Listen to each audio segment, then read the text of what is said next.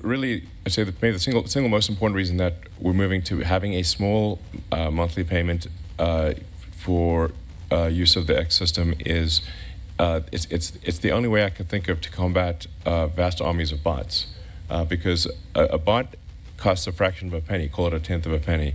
But if, if, if somebody even has to pay you know, a few dollars or something, some, some minor amount, the, the, the effective cost of, of bots is very high.